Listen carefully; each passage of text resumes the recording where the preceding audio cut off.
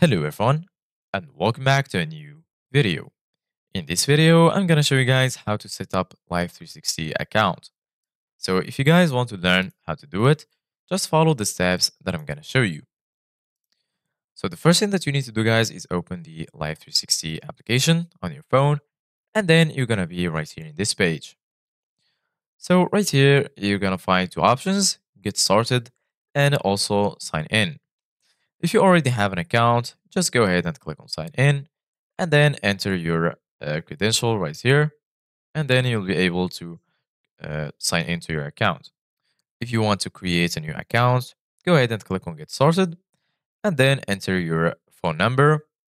And once you enter your phone number, you need to enter your password or create a new password. And then you're going to be uh, signed up to uh, Life360. So once you add your phone number, go ahead and click on continue. And then right here, you need to uh, type your password. And once you finish, go ahead and click on continue.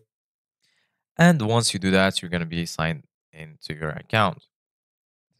So right here, the first thing that you need to do, guys, in order to uh, set up Life360 is go to the top of your screen and then click right here and then here, as you can see, guys, uh, basically you're going to find a list that includes all of your circles on Life360.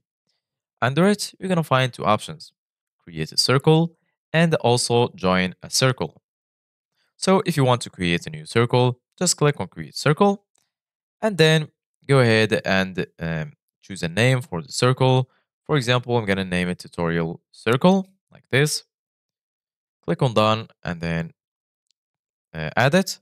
And right now we have the uh, this code. So all you need to do, guys, in order to invite members is send the code to the uh, member that you want to invite. So this is it, guys, for today's video. Thank you guys for watching. See you guys in the next video.